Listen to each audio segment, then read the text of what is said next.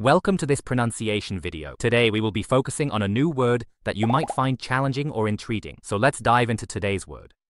aacheeri, which means, Archery in Japanese. let's say it all together. aacheeri. aacheeri. aacheeri. One more time. aacheeri. aacheeri. Ah, Archery.